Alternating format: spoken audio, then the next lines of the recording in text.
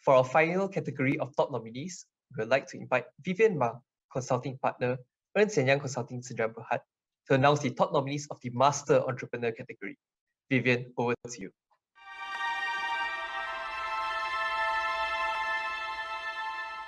Thanks, Joel, and good afternoon, everyone. This award salutes the entrepreneur who has made a sustained contribution to the success of one or more businesses over an extended period.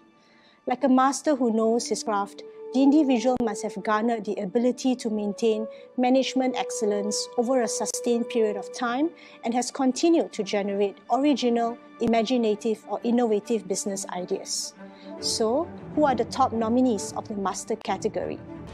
One of the largest solar PV EPCC providers, the company has helped clients generate energy while lowering their carbon footprint towards achieving the critical net zero milestone. Congratulations to Mr. Jonathan Kan of ERS Energy.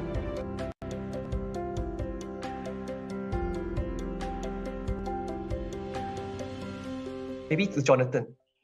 Sustainability and energy transition is the hottest topic nowadays, especially with COP26 the question to you is, what is ERS Energy's view of the renewable energy and the adoption rate in Malaysia?